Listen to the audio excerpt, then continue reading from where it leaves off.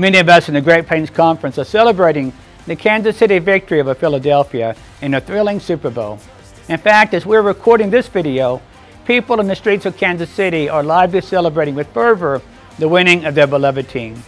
But the real victors from Super Bowl 57 are the people in need of food and the agencies that support them. United Methodist in Kansas, Nebraska, Missouri entered into a friendly competition with our fellow United Methodists in the greater New Jersey and Eastern Pennsylvania conferences. Both conferences challenged each other to see who could bring in more food donations for pantries in our mission fields. The Episcopal leader there, Bishop John Schol, has generously conceded, even appearing in a video earlier this week wearing a Patrick Mahomes jersey. I have to say, Bishop Schol, you look pretty good in red and white. And our cabinet looks forward to receiving those Philly cheesecakes and Tastykakes. As proud as we are of the Kansas City victory, we're even prouder of the witness of Christ presented by all of you who donated food to help those in need. Congregations large and small, urban and rural from Kansas and Nebraska rallied to the cause. You know, Jesus said in Matthew 26, 11, we will always have the poor with us, and that's a humbling thought. It's a justice issue that deserves our ongoing attention.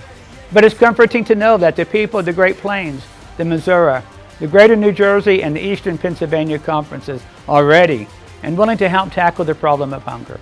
Perhaps this will kick off a new tradition for us in the Great Plains. We expect Kansas City to be participating each year, but even if they aren't in the big game, a food drive around the Super Bowl, one that we can plan on each year, seems like a worthwhile service project for our entire conference. So congratulations to Patrick Mahomes, Travis Kelce, and the entire team, and thank you to all who donated food. Your heart for mission for the people and communities around our two states warms my heart as your bishop. Thank you to United Methodists in the Philadelphia area for having some fun with us.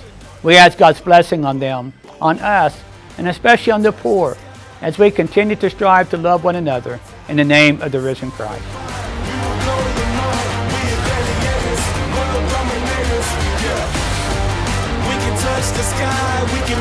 sky, we are made to rise through the ring of fire in the darkest times. We are gladiators, world dominators.